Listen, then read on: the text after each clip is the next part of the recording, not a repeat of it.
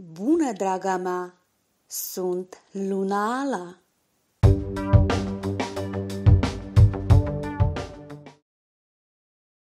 Energiile care te-au făcut să te simți la fel de liberă ca aerul se împrăștie acum în tot universul. Pe de altă parte, până pe 25 martie, salvezi tot ce îți face plăcere și te distrează. Pe astrograma ta natală, Marte în Gemeni te însoțește în această lună.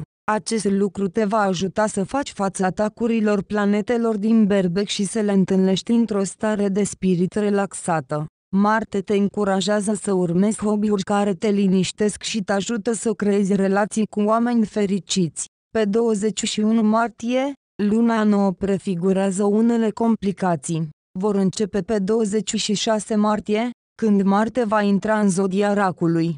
Energiile dizarmonice care emană din Berbec și Capricorn se vor intensifica. Te vei simți confuză.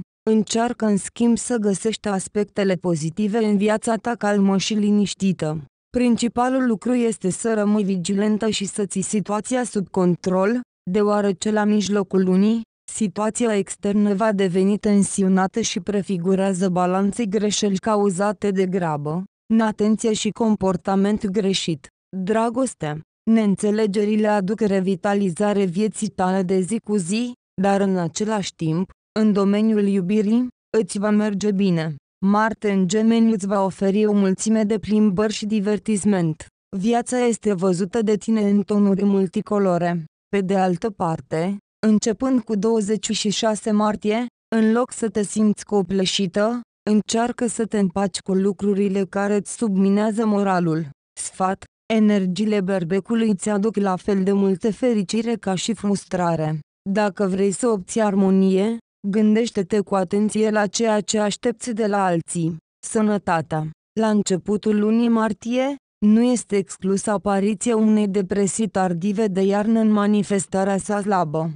Letargia și apatia pot fi depășite prin diversificarea timpului liber printr-o comunicare mai activă cu oamenii. Încearcă sporturi de echipă, jocuri sau pur și simplu au un partener dintre prietenii tăi pentru a-ți împărtăși hobby-ul tău preferat. De asemenea, ar trebui să acorzi atenție dietei, să incluzi mai multe fructe și legume. Un număr mare de plimbări în aer curat nu pot dăuna sănătății. Asigură-te că îți întărește imunitatea. În plus, luna martie este bună pentru proceduri cosmetice și experimente cu aspectul.